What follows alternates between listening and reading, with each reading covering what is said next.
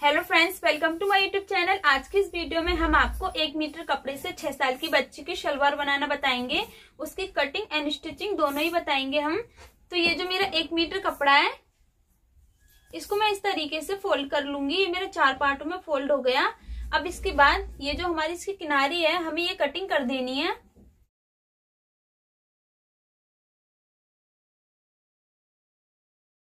तो देखिएगा मैंने इसकी किनारी कट कर ली अब मैं इसे ओपन कर लूँगी।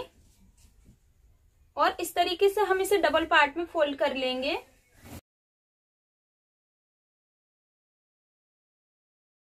हमें अपनी शलवार की कंप्लीट लंबाई रखनी है 24 इंच। तो हम उसके लिए अपनी बेल्ट कटिंग करेंगे यहाँ पर सात इंच की।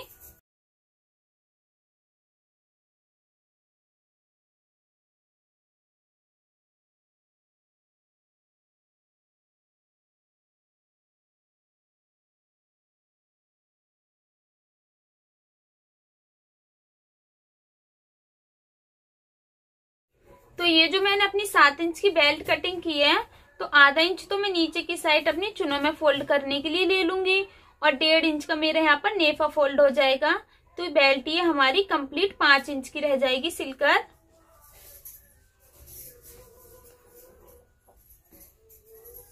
ये जो हम अपनी बेल्ट की चौड़ाई अपने अकॉर्डिंग रख देंगे, फिटिंग के अकॉर्डिंग। अगर लड़की की मतलब फिटिंग ज़्यादा है, हेल्थी लड़की है ना तो उसकी हम ज़्यादा रख सकते हैं, जो पतली लड़की है, उसकी हम कम रख सकते हैं। मैं यहाँ पर साढ़े सत्रह इंच की रखूँगी, जो कि मेरी सिलकर सत्रह इंच की बेल्ट रह जाएगी।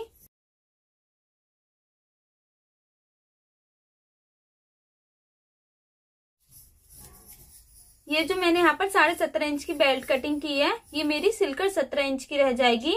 ये मेरी जो बेल्ट जिसकी शलवार है ये, वो लड़की ना तो ज़्यादा मोटी और ना ही ज़्यादा पतली, नॉर्मल है। अब ये वाला जो हमारा कपड़ा है, हम इसे चार पार्टों में फोल्ड कर लेंगे। अब इसके बाद हमारी शलवार की लंबाई रहनी थी चौबीस इंच। तो मेरी शलवार थी चौबीस इंच की। अब हमारा पाँच इंच तो बेल्ट के लिए निकल गया। तो यहाँ पर हमारा रह जाएगा कपड़ा ये उन्नीस इंच की लंबाई रह जाएगी हमारी।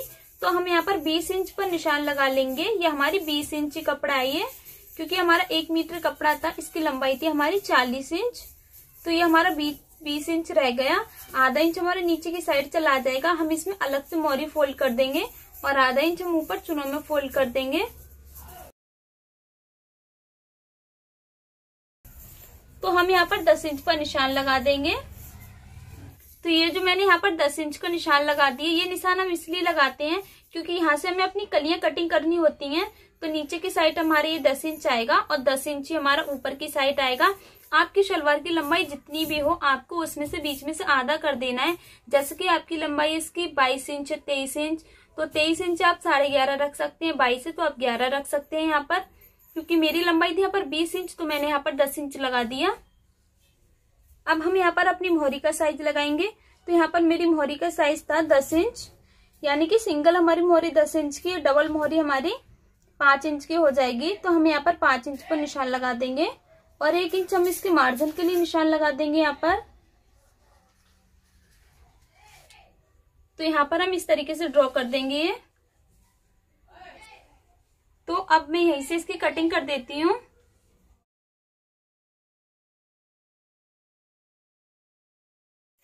तो देखिएगा, ये मैंने शलवार के पार्ट की कटिंग कर दी। ये जो मेरे पार्ट फोल्ड है एक दूसरे में, इसे मैं ओपन कर लूँगी ऊपर साइड से।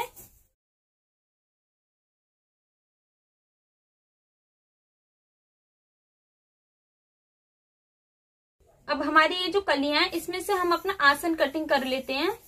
तो मैं इसका आसन रखूँगी दस इंच। दस इंच का जो आसन होता है हमारा, छह साल की बच्ची के लिए एकदम कंफर्टेबल रहेगा। तो पाँच इंच तो हमारे बेल्ट में आ जाएगा और नीचे की साइड हम यहाँ पर छह इंच पर निशान लगा लेंगे। ये सिलकर हमारा पाँच इंच का रह जाएगा। अगर आप इसमें म्यानी फोल्ड करना चाहते हैं तो आप म्यानी फोल्ड कर सकते हैं, नहीं तो आप यहाँ पर सिलाई अटैच कर सकते हैं ओनली मुझे इसमें म्यानी फोल्ड करनी है, इसलिए मैं यहाँ पर अपना, अपने कपड़े को ट्रायंगल शेप देकर यहाँ पर म्यानी कटिंग कर लेती हूँ। तो आप देखिएगा, ये हमारी शलवार के पार्ट कटिंग हो चुकी है और ये हमारी इसकी कलियाँ कटिंग हो चुकी हैं और ये हमारी इसकी म्यानी है। तो हम इसमें म्यानी आसन वाली साइड फोल्ड कर देंगे और ये हमारी शलवार की बेल्ट है। तो हमारी शलवार की कंप्लीट कटिंग हो चुकी है। अब हमें इसके जो कपड़ा, हमारा इसमें ओनली एक मीटर कपड़ा था, इसीलिए हमारी इसमें शलवार कटिंग हो चुकी है। आप इसमें मोहरी दूसरे कपड़े की फोल्ड कर सकते हैं। अब हम सलवार की स्टिचिंग स्टार्ट करते हैं। सलवार की स्टिचिंग में सबसे पहले हम अपनी मोहरी बनाते हैं। तो मैंने ये फैब्रिक लिया हुआ है और ये मेरी बुकरम है, जो मोहरी के लिए। ये मेरी डेढ़ इंच चौड़ी है, देखिएगा अब इसके बाद मैं यहाँ पर आधा इंच कपड़ा छोड़कर बाकी सारा कपड़ा एक्स्ट्रा है, जो मैं ऊपर की साइड इस पर बुकरम पर फोल्ड कर दूँगी और यहाँ पर एक सिलाई अटैच कर दूँगी।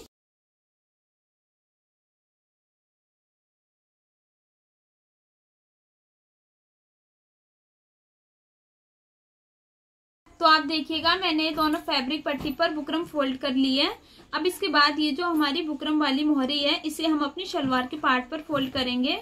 तो आप देखिएगा, ये हमारा शलवार का पार्ट है, ये हमारी मोहरी वाली साइड है, और ये हमारा राइट साइड कपड़ा है, और ये हमारा रॉन्ग साइड है। तो इसके ऊपर हम इस फैब्रिक पट्टी को रख देंगे। और यहाँ पर सिलाई अटैच कर देंगे। ये जो हम सिलाई अटैच करेंगे, ये हम बुकरम पर नहीं करनी है हमें, ये ये नीचे की साइड करनी है हमें। हमारी बुकरम पर जरा भी सिलाई नहीं आनी चाहिए। अगर हमारी बुकरम पर सिलाई आ जाती है ना तो ये ऊपर की साइड हमारा कपड़ा दिखने लगता है।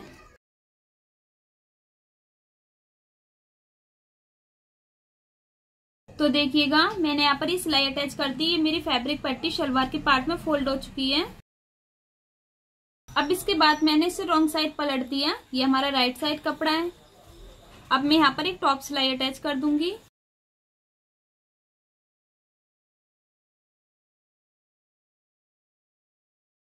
तो देखिएगा आप, मैंने यहाँ पर एक सिलाई अटैच कर ली। यहाँ पर मैंने टॉप सिलाई अटैच कर ली है। अब इसके बाद नीचे की साइड यहाँ पर भी मैं एक टॉप सिलाई अटैच कर लेती हूँ।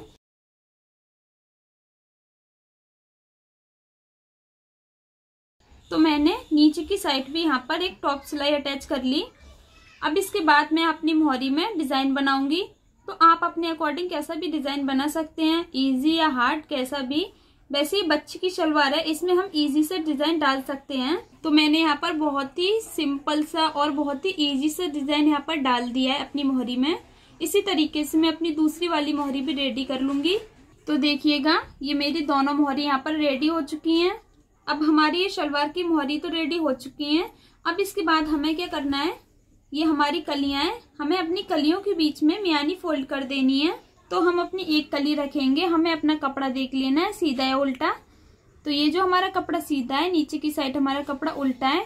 तो हमने इसके ऊपर मियानी रख दी। अब इसके बाद हम यहाँ पर सिलाई अटैच कर देंगे, जिससे कि ये हमारी कली में मियानी फोल्ड हो जाएगी।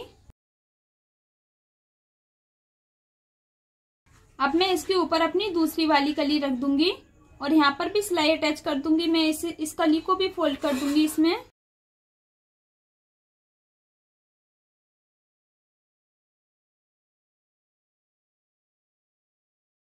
तो आप देखिएगा, दोनों कलियों के बीच में मैंने एक मियानी फोल्ड कर लिया है।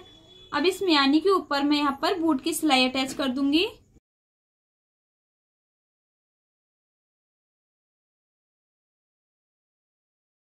तो देखिएगा ये दो कलियों के बीच में हमारी एक मियानी फोल्ड हो चुकी है और इसके ऊपर मैंने बूट की सिलाई अटैच कर ली। अब इसी तरीके से मेरी ये जो बाकी की दो कलियाँ और हैं, इसके बीच में भी मैं एक मियानी फोल्ड कर लूँगी। तो ये जो हमारी चारों कलियाँ हैं, इसके बीच में हमने दोनों में एक एक म्यानी फोल्ड कर दी है। तो ये मेरे शलवार के दोनों पार्ट रखे हुए हैं। अंदर की साइड ये हमारा राइट साइड कपड़ा है और ऊपर की साइड ये हमारा रॉन्ग साइड कपड़ा है। देखिएगा। अब हम यहाँ पर ये एक कली फोल्ड कर देंगे इस तरीके से।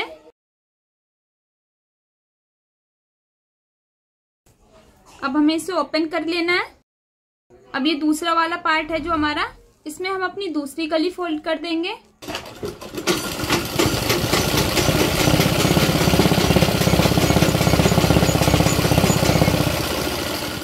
तो ये हमने दोनों पार्ट में अपनी दोनों कलियाँ फोल्ड कर दी और बीच में ये हमारी म्यानी आ गई। अब इसके बाद हमारे दूसरा वाला साइड है, इस पर भी हम अपनी कलियाँ कुछ इसी तरीके से फोल्ड कर देते हैं।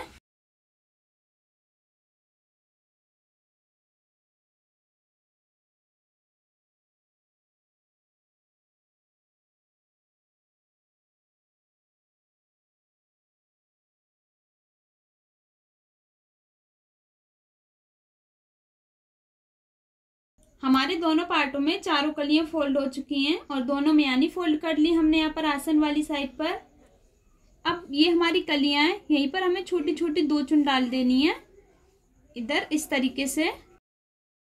इसका फेस हमारी म्यानी साइड आना चाहिए और इधर की साइड हमारा, हम इस तरीके से चुना डालेंगे। इधर की साइड से भी फेस हमारा म्यानी की साइड जाना चाहिए।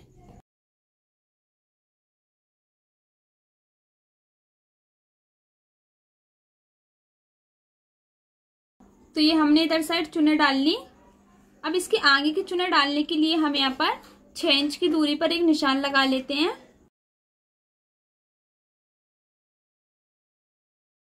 तो मैंने यहाँ पर छः इंच की दूरी पर यहाँ पर कट्स लगा लिए। अब यहीं से मैं चुने डालने स्टार्ट करूँगी।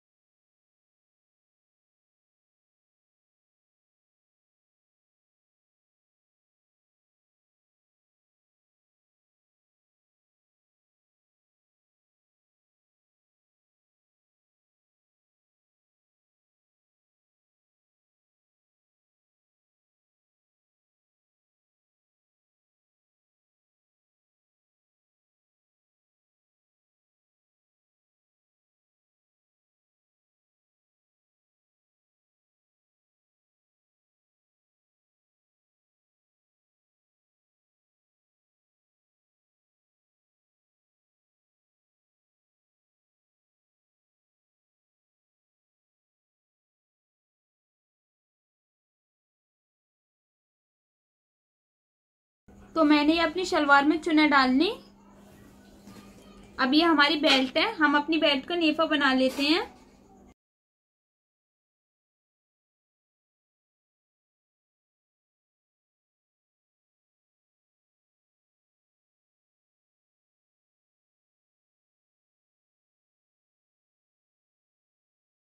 तो आप देखिएगा, मैंने यहाँ पर नेफे वाली सिलाई अटैच कर ली। अब इसके बाद मैं यहाँ पर नेफा फोल्ड कर लूँगी। तो मैं यहाँ पर ओनली डेढ़ इंच कपड़ा फोल्ड करूँगी अपना, जो कि मैंने इसका एक्स्ट्रा कटिंग किया हुआ है।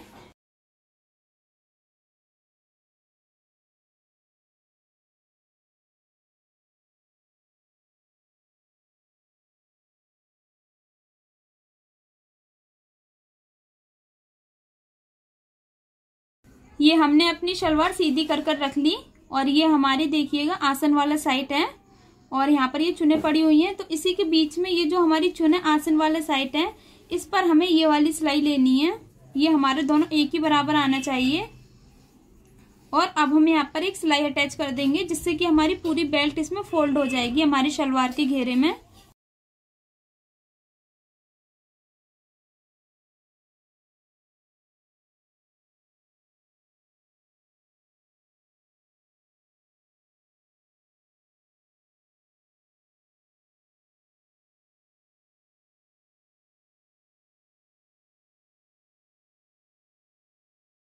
तो हमारी शलवार में बेल्ट फोल्ड हो चुकी है। अब इसके बाद हमें यहाँ पर बूट की सिलाई अटैच कर लेनी है।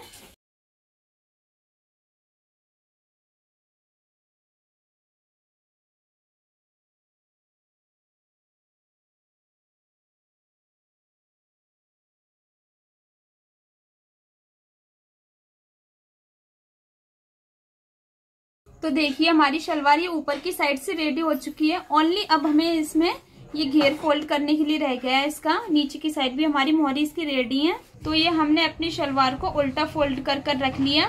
तो हमें अपनी मोहरी एक बराबर कर लेनी है। नीचे की साइड से ये आगे पीछे नहीं होनी चाहिए हमारी। और ये मैंने निशान लगा दी यहाँ पर पाँच इंच का। ये जो हमारी मोहरी दस इंच की बननी है तो मैंने ये डबल पार्ट में फोल्ड कर रखी है। तो मैंने यहाँ पर पाँच इंच पर निशान लगा दिया। अब मैं यहीं से सिलाई अटैच करूँगी और कुछ इस तरीके से यहाँ से मैं तिरछी सिलाई अटैच करनी है। अपने पूरे घेरे में सिलाई अटैच कर देनी है।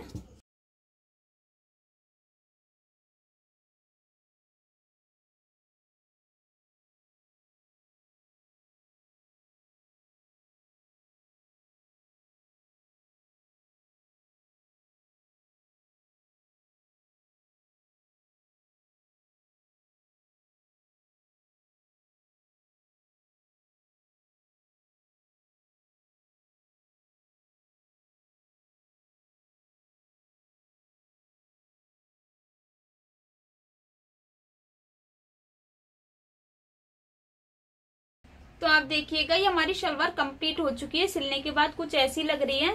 ये एक मीटर में हमारी छह साल की बच्ची की शलवार काफ़ी अच्छी घेरदार पटियाला शलवार बन चुकी है। आप भी अपने कपड़े से ऐसी शलवार बना सकते हैं।